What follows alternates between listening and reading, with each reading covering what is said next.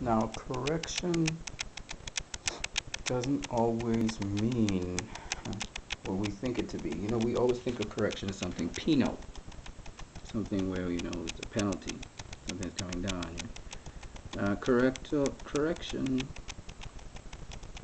involves teaching, enlightenment.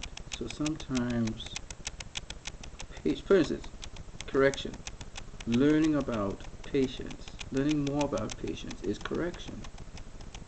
In places where you would normally not have patience, God is teaching you how to have patience.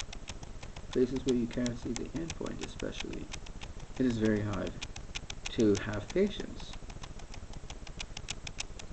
This is also chastening.